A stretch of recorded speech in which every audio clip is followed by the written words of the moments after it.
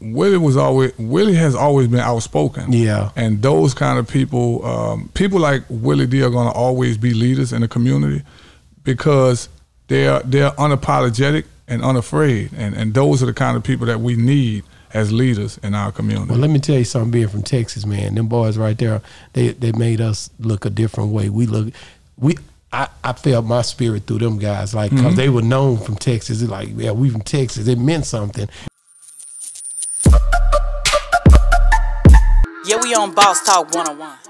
Just far as Mannie Fresh, far as Master P, far as all these known name Mm-hmm. people, what are some? Did, did have you spoken to them since you've been home? Uh, And Mm-hmm. basically, like, like, what is those conversations like?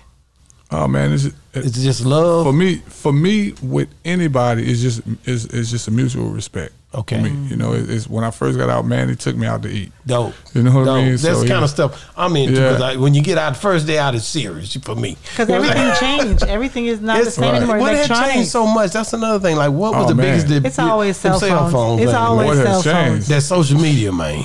And look, the, Yeah. the phones were flipping when I left. Yeah, the that's right, that's right. And you can chirp on them. Yeah. Man, I don't even know what this is. My wife had to take care of the phone for me. Like social media, I have people be seeing me. They be like, "Man, I DM'd you."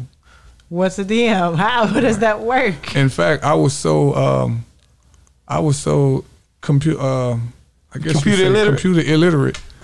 No, well, I'm gonna say social media Social illiterate. media illiterate. That my wife had to tell me that Willie D had sent me a message after I did the podcast with them, and I had to Shout out Willie D. I had to uh, shout out to Willie and man. I enjoyed my time there. And what's so crazy is I had to message him and Scarface to tell them that I just realized what I was doing, and Willie just hit me back with a bunch of uh, crying, laughing emojis because I was like, man, I, I don't know what I'm doing, man. I, I, I didn't even know how to check this, you know. so, did you even have you didn't did you know them guys personally when you left? You didn't know those guys, did you? No, Correct. But when you came home, they reached out to you because of your, your they know Your your, story.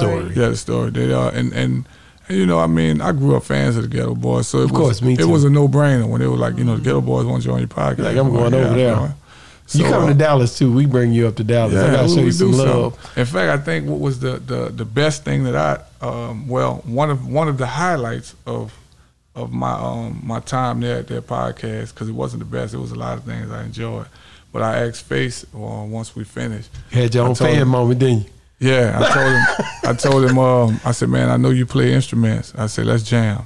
So we just, I grabbed the bass, he grabbed the guitar, and we just jammed out. We That's ain't- dope. We ain't really. I don't You even should've recall recorded taping that. it. A lot of people. It was just for me. A lot of people want- don't know that. Scarface is, is so into Instruments. the Right. producing. Right. You know, Mr. Lee talked about that on our show. Yeah. he was like, "Man, Scarface," because they get they play golf together. They golf, Mm-hmm. big golfers, and he was like, "Man, Scarface good at golf, but man, people don't know he hell he can produce, man. Mm-hmm. You know, like that, he can rap, but he got so many attributes to him. And rap a lot on a whole, and and and and the way that music was coming from Scarface, man, that's. Mm-hmm. And I, that's the guy I put against anybody. I tell him, He's I the say, greatest rapper alive I said, you go, they be like Jay Z this. I said, listen, anybody, and I'm not just saying it because I'm from Texas. If you go get them, if you go get them, I'm gonna go get Scarface every time, Bro, And I promise you, Scarface you're not gonna, the and they gonna tell you. He's That- the greatest rapper. did you hear what I just alive. said? They're gonna tell you. They're gonna have to. he gonna make he them. is like Yeah. I'm. I'm telling you, since we started, I've heard more Scarface, more UGK than anything yeah, yeah, yeah. else. Because I'm He that's my era, man. Yeah, but Big it's- I mean, he's the the originator. He's where DMX, Tupac, Jay Z, Nas, everybody, got a piece of him in their music. That's exactly We were right. trying to get him on the show. We're still working on it. Yeah, but he was his hell. It, it been some stuff. Yeah, going that's on my with guy, man. Yeah. I mean, we're supposed to play golf when he came here, but yeah. you know, we ended up not linking up. But you know, Scarface, and me and Scarface relationship is way deeper than music. But I always tell people, without him influencing me and demanding things out of me, I wouldn't be who I am. Right. That's dope, man. How did that make you feel to work to, to jam out Oh, with? that was cool. I just wanted to be able to tell my grandkids we jam. Man, so I, how how is it like going on that podcast? I, I see him. I love their movement. But Willie D was already doing stuff. He, Mm-hmm. I think it's like he pulled pulled Scarface into it in my Right. mind because he was always Willie D was on it early on. Well, Willie was always Willie has always been outspoken. Yeah. and those kind of people, um, people like Willie D are going to always be leaders in the community because they're they're unapologetic and unafraid, and and those are the kind of people that we need as leaders in our community. Well, let me tell you something. Being from Texas, man, them boys right there, they they made us look a different way. We look, we.